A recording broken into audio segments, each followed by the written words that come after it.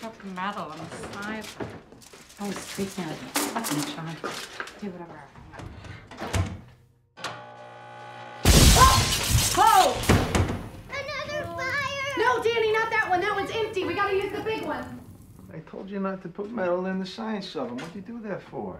Don't make such a big deal. Just get another one. I don't want another one. I want the one that Carmine gave me. Oh, Carmine, Carmine gave me. Carmine, Carmine. Why don't you just marry Carmine? Get a little gold microwave and put it on a chain around your neck. You want to be more like Carmine? Why don't you build something like he does? Instead of all your empty deals, it's just like your fucking science oven. You know, I read that it takes all of the nutrition out of our food. It's empty, just like your deals. Empty, empty. That's bullshit. It's not bullshit. I read it in an article. Look, by Paul Brodeur. Bring something into this house that's gonna take all the nutrition out of our food and then light our house on fire?